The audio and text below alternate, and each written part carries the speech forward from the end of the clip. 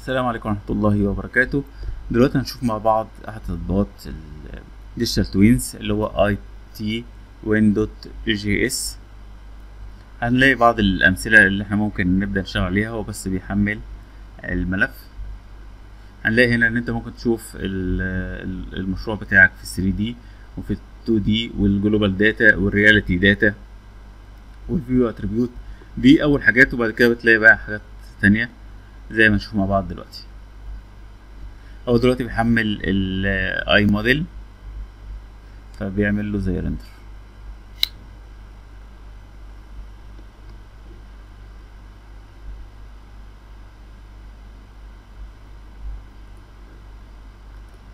لو جينا هنا نلاقي إن هو إحنا نشوف كل ال plan ات الموجودة حتى ال sections.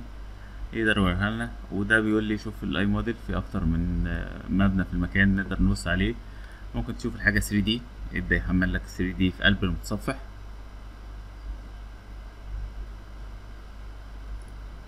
بالشكل دوت.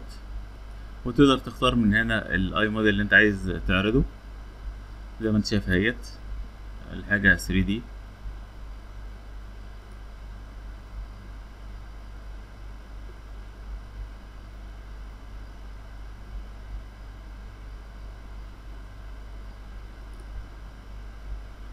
بالشكل دوت.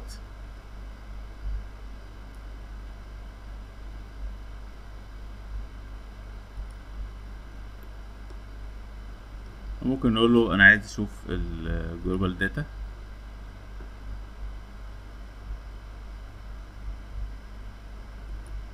فيبدأ يظهر لك بالشكل دوت وعندك هنا تقدر تخفي التضاريس أو تظهرها تقدر تخفي ال building أو تظهرها ال building edge برضه تقدر تخفيها وتظهرها وهكذا فتقدر تتحكم في المعلومات اللي موجودة.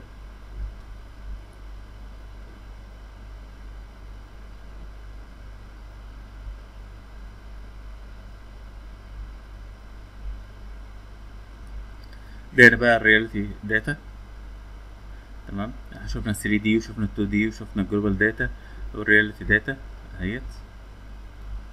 دي بقى اللي هي المعلومات اللي بتحصل ثانية بثانية. تقدر تخفيها تقدر تعملها.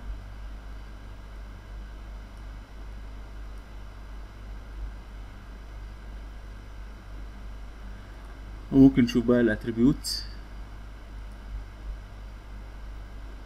ودي بعد كده ال viewer feature camera path مثلا اهيت classification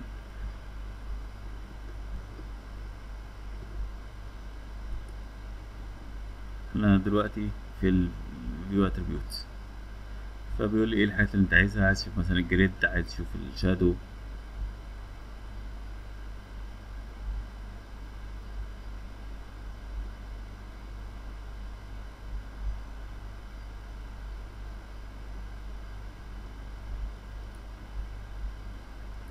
تمام. وبعد كده دي بقى ال viewer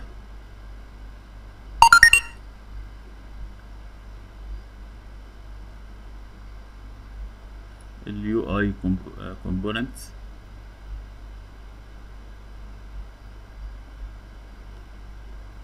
ال UI أعتقد user interface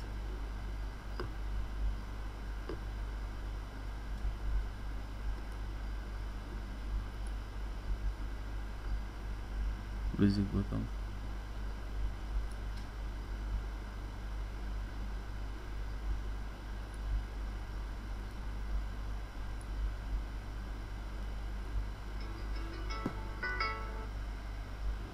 فموقع حلو جدا يعني كأمثلة للشغل